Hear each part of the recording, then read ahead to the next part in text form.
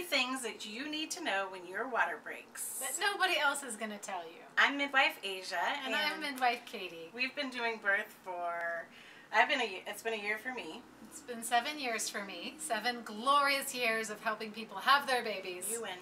And 500 births I've been to. And I've been to about a hundred. You can actually look us up online. Um, and what we want to talk to you today about is What think people don't tell you when your water breaks? It's funny if you're having a hospital birth. I I'm 90% sure, 99% sure that the hospital hasn't told you, and maybe even your childbirth educator hasn't told you what you need to know about when your water breaks. So we're going to talk about three different things Just three. that come up that we think that you should know from a midwife perspective. One, the first thing is go back to bed when your water breaks. Aja, what if they go back to bed and like they Have fall asleep and they have their baby? if they fall asleep, then that's exactly what we want you to do. So, we want you to get some rest, Mhm. snuggle up with your partner, enjoy some free flowing oxytocin. Ooh, what's that? Oxytocin is the love hormone, and that's what makes your baby come. That's what makes the baby come. And it's not like the movies. Usually, you're not going to have this big, huge gush. Sometimes it does happen like that.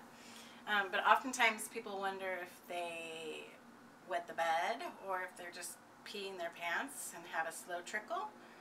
And so that's a really interesting thing to try and figure out is was it my water breaking mm-hmm. or But your care provider can help you with that. that's right There's we have we have ways of finding these things out. that's right A lot of call your midwife call your midwife. So if you're one of those folks and you think it's two o'clock in the morning and your water has broken, go back to bed. that's right It's the optimum get way. some rest mm-hmm. because you're going to need lots of energy for your labor Yeah. and birth And And one of the things that we recommend you take notice of is an acronym called TACO.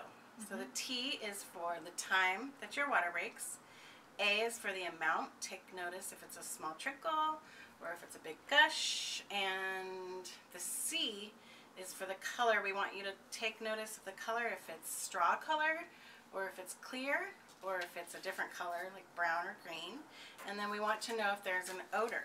So usually there's going to be no odor unless there's any sign of infection. So that's one of the things that you want to definitely look out for. so Aja, how long would they expect to wait before they do go into labor if they if they decide to go back to bed and take our advice? Most um, women's labor will start within 24 hours. Just 24 hours. That's right. So you could break your water and then Netflix and chill. But hey, Netflix and chill, as we understand it, is is now a um, a cover for some other things. So um, if that's the case, if it's a euphemism for you, and Netflix and chill means something else, one a, a s- super special precaution is nothing into the vagina. that's right. Nothing. What about taking a bath? Taking a bath? Okay. Nothing in the vagina? Not. Nothing. okay. Nothing. So let's talk about number two. Number two is your baby still has water. That's right.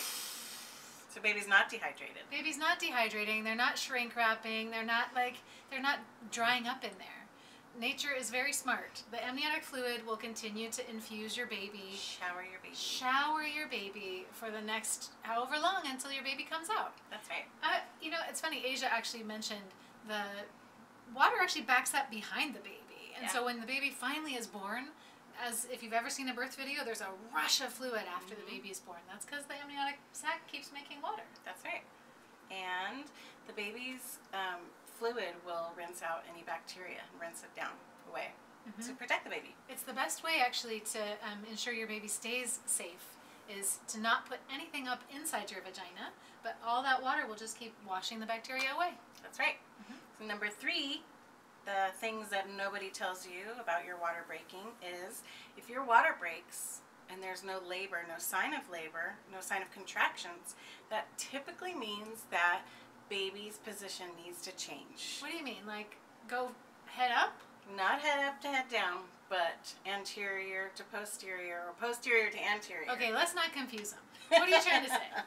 Baby needs to get into a good position to get labor starting. Okay, so I have an idea. Let's do another video on that one. Yeah, let's We'll make another video another for you about positioning because that's a whole thing unto itself. And it's super important. And it's super. It's it's like the most important thing. And one of the things that can really kickstart labor when your water's broken and you're waiting for labor to come. Is getting your baby in a good position. We really appreciate you taking advice from us. We keep things evidence based and want you to be educated and informed.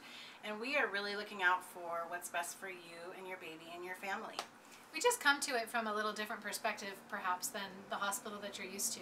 Midwives around the world um, focus on the rights of the family and on the woman having a lot of empowerment in her decision making. Right. So we want you to have um, an alternative perspective that might give you some more power in making decisions.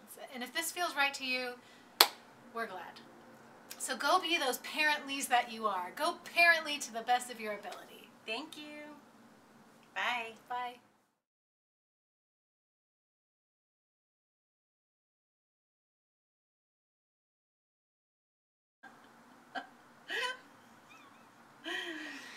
Oh, you were right Are we- about the burritos. That's a bad choice. Hi, Kayti. I'm going to pump you up. Wow, Look at you're this. super buff. this bicep. Is that from Ah, doing yoga? That's from doing yoga. Yoga? Yoga. Wow. That's impressive. Why, thank you.